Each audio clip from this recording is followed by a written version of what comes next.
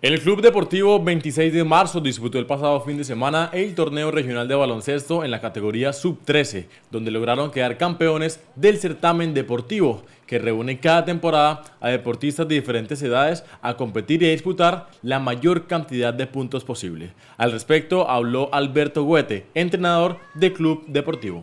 Participamos ahorita mismo en una competencia que se llevó a cabo en la cancha polideportiva del barrio Aguas Claras donde participaron varios equipos de otras ciudades y donde logramos uh, de manera invicta el título, afortunadamente para nuestros niños.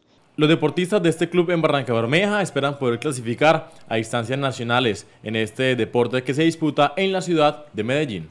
En un proceso que estamos haciendo eh, con ayuda de los demás clubes de Barranca Bermeja, donde cada club aporta los mejores jugadores para llevar a cabo al final del año, en noviembre. Eh, esperamos conseguir la clasificación al ponibaloncesto que se realiza en la ciudad de Medellín en el Festival de Festivales. Finalmente, el profesor envió un mensaje de agradecimiento a los padres que cumplen un papel muy importante a la hora de colaborar en este proceso de formación deportiva y personal de los menores de edad.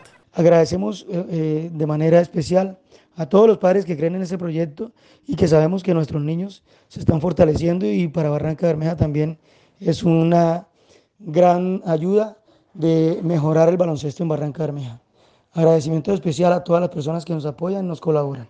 El baloncesto poco a poco ha tomado fuerza en la ciudad como disciplina deportiva, lo que ha permitido mayor participación en certámenes locales, departamentales y nacionales.